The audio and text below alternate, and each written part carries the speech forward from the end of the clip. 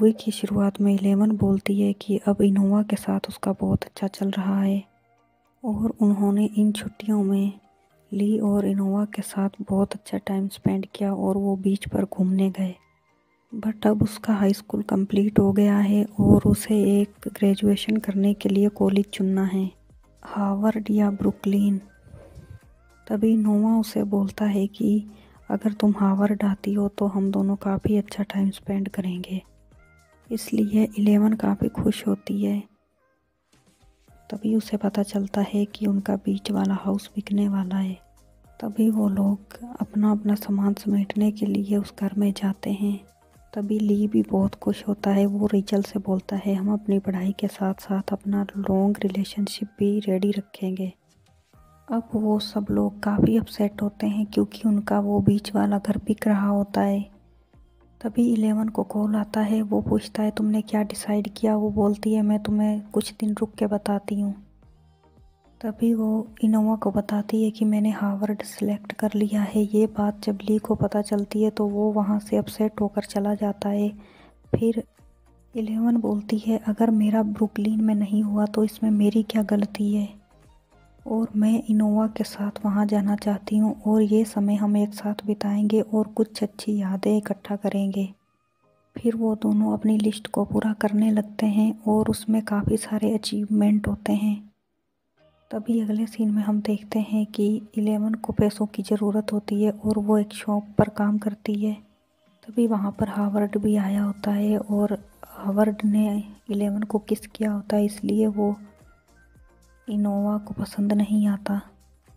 तभी उन दोनों की फ़ाइट हो जाती है और हावर्ड इनोवा पर पंच कर देता है। फिर इनोवा वहाँ से जाने लगता है और इलेवन उसे मनाने जाती है। और इनोवा बोलता है, मैंने पहले ही बोला था, अगर हावर्ड हमारे बीच आया तो मैं यहाँ नहीं रुकूँगा। तभी हम देखते हैं हावर्ड इलेवन को प्रपोज़ करता है और इलेवन बोलती है, तुम यहाँ से चले जाओ। दूसरी तरफ़ हम देखते हैं कि इनोवा इलेवन को फिर से पार्टी देना चाहता है, लेकिन वो ली के साथ टाइम स्पेंड कर रही होती है। तभी वो इलेवन को बोलती है कि मैं जल्द ही आ जाऊँगी, और फिर वो वहाँ से चली जाती है। तभी उसे पता चलता है कि उसके डेड की एक गर्लफ्रेंड भी है, जिसका नाम एनंडा है। वो उसे एक्सेप्ट नहीं कर पाती, क्योंकि उसकी इनोवा के साथ नहीं बन रही होती, और उसका उसके डेड के साथ झगड़ा हो जाता है। वो बोलती है, ये मेरे मोम की जगह ले रही है।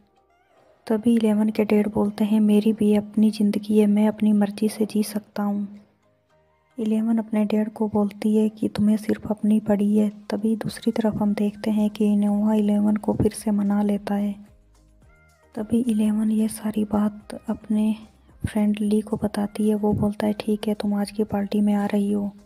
दूसरी तरफ़ इनोवा को पता चलता है कि उसका ब्रुकलिन में भी एडमिशन हो गया था, लेकिन वो हार्वर्ड मेरे लिए आ रही है।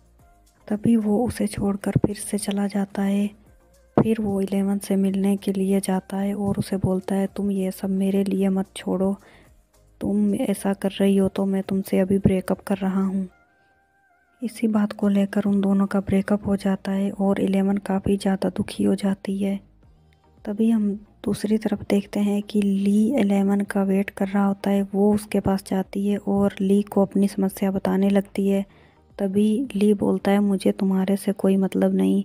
तभी इलेवन उसे डांट देती है और बोलती है, आज से हमारी कोई दोस्ती नहीं है और ना ही आज से हम कोई रूल फॉलो करेंगे। तभी वहाँ से रिचल भी जाने वाली होती है और वो इलेवन को बोलती है, तुम बहुत स्ट्रॉन्ग कर लो तभी रिचल भी ली से जाकर ब्रेकअप कर लेती है, वो बोलती है, अगर इलेवन और इनोवा एक साथ नहीं रह सकते तो हम तो बहुत दूर के रहने वाले हैं।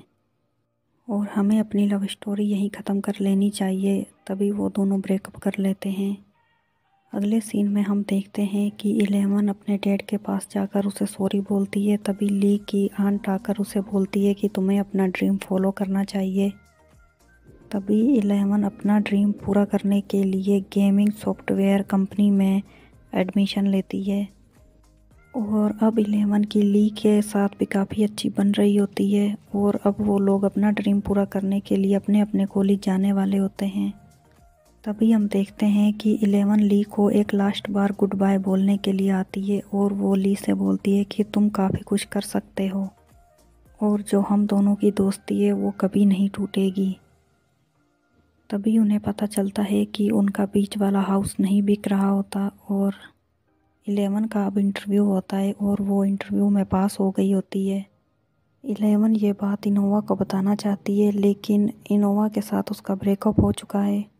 तभी हम देखते हैं कि इस बात को छः साल हो चुके होते हैं और अब ली का भी ग्रेजुएशन पूरा हो गया है और वो इलेवन के पास वापस आ गया होता है।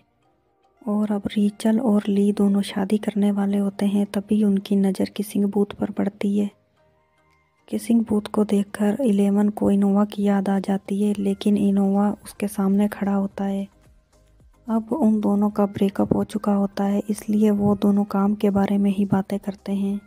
तभी इनोवा इलेवन को बोलता है, मैं तुम्हें कॉल करूँगा, अगर मुझे टाइम लगा तो। फिर वो वहाँ से जाने लगता है। इलेवन सोचती है कि अगर वो मुझसे प्यार करता है तो मुझे एक बार पीछे मुड़ के देखे तो सही। फिर इनोवा पीछे मुड़ के देखता है और इलेवन काफ़ी खुश हो जाती है। तभी हम देखते हैं कि वो दोनों घूमने गए होते हैं। ये मूवी यहीं ख़त्म होती है, लेकिन उन दोनों की लव स्टोरी सक्सेसफुल नहीं होती। वीडियो पसंद आई हो तो वीडियो को लाइक करें, चैनल को सब्सक्राइब